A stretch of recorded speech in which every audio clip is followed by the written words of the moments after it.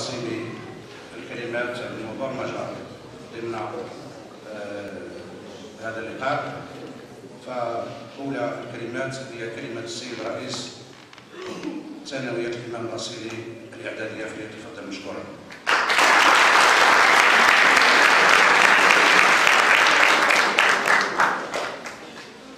بسم الله الرحمن الرحيم والصلاة والسلام على أشرف المرسلين السيد باشا المدينة المحترم السيد العميد الإقليمي في مديرية الأمن بمدينة أصيلة المحترم السيد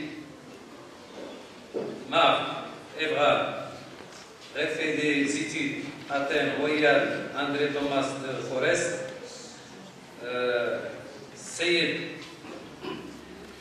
أحمد المصلوحي coordinateur du partenariat de côté Belgique السادة المدراء السادة الأساتذة السادة الحراس العامين أعزائي عزيزاتي تلميذات والتلاميذ الحضور الكريم كل واحد باسمه وصفته مرحبا بكم في هذه الصبحية التربوية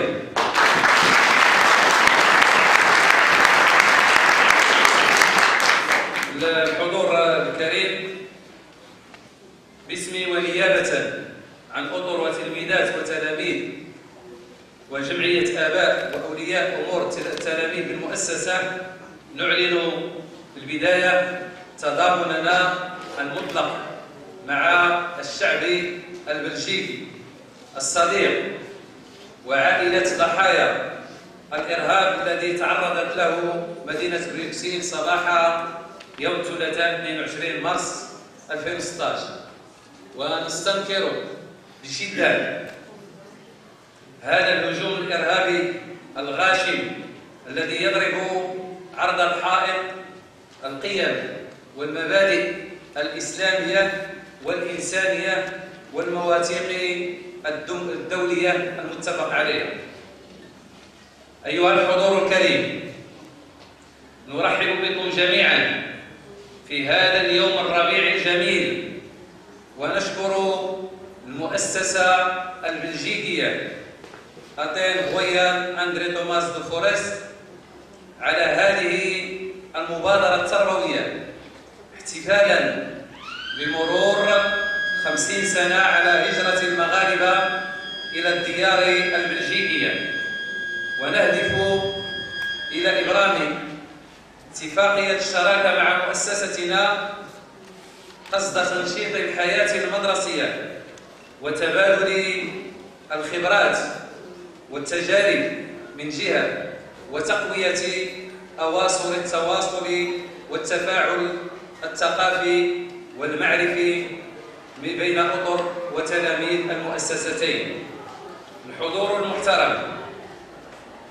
أملنا كبير في السير قدما بهذه الشراكة خدمة لتربية والتعليم. وخدمة لناشئتنا التعليمية بين البلدين.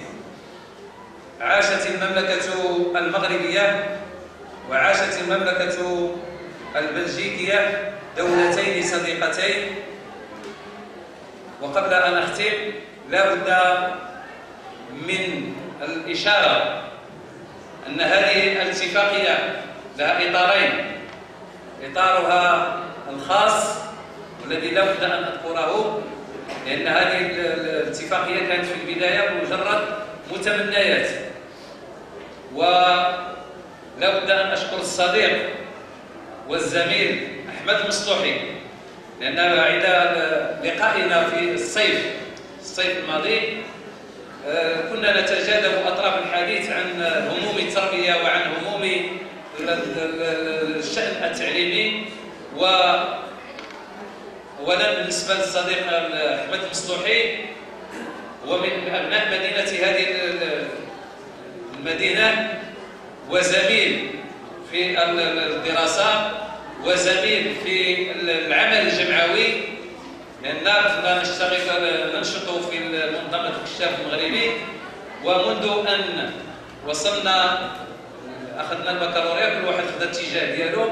ومنذ ذلك الحين ولم لم ألتقي به إلا السنة الماضية وعند التقائنا مع بعضنا البعض تجانبنا أطراف الحديث مع بعضنا البعض وأبدأ استعداده لكي يكون هناك شراكة بين المؤسسين المؤسسة التي يعمل بها كأستاذ الاقتصاد ببلجيكا في بروكسل والمؤسسة التي بطبيعة الحال أشتغل بها. إذا فكانت هذه المبادرة التي كانت حلما وأصبحت واقعا.